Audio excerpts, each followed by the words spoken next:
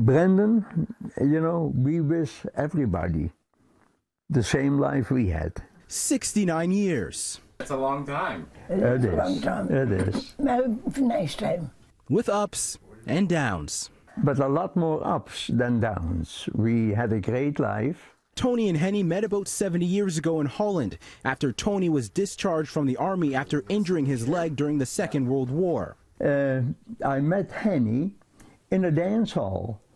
And she was a heck of a good dancer. Everybody wanted to dance with her. And a good looking girl, too. And, and not a bad looking girl.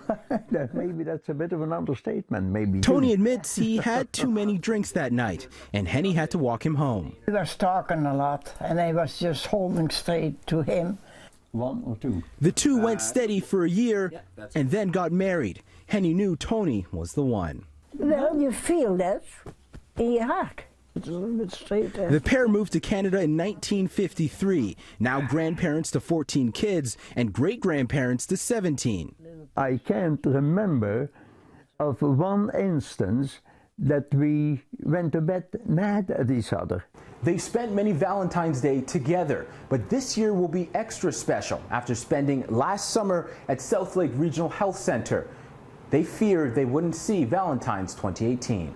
One morning, I were in the bathroom. I were uh, washing myself, and uh, I thought that I had a heart attack. Shortly after Tony fell ill, Henny went down with a broken heart of her own. Two weeks I was dead worried about him because, you know, and then I didn't feel good. Yeah, they both developed the same condition. It's called aortic valve stenosis. But about 15 years ago, the first time in the world, they developed this procedure called TAVI. So this has really revolutionized the treatment of this condition, aortic stenosis. We're now able to perform it in elderly people, even in their 90s, who are much too risky for open heart surgery. They pushed each other to get better. Pushing him a little bit, I say, well, we have to stay together. I hope we can hang in for another couple of years. And I think we're going to give it a good try, don't we?